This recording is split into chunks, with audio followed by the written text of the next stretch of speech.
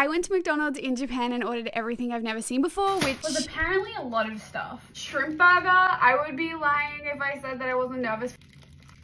This is is kind of good. You can for real see the shrimp. Shaker chicken with the red pepper. I think the other flavor was like cheddar cheese. The air smells, I can't breathe. Oh my god. This one is a 10. They had edamame and corn. Never had the two together. I actually only tried edamame for the first time this year. I wouldn't put salt all over it. Not sure if this is soda or tea, but the flavor is white grape. Maybe it's juice. It tastes very artificial, but like in a good way. This is the Karubi burger. I think it means a different type of beef. This is what it looks like. I couldn't tell you if it was beef, onion, or cabbage. I'm gonna be honest, it's not my favorite, but I think it's because my brain doesn't know what it is. It's not letting me like it. It's not bad. There's so much more to try, like for a part two.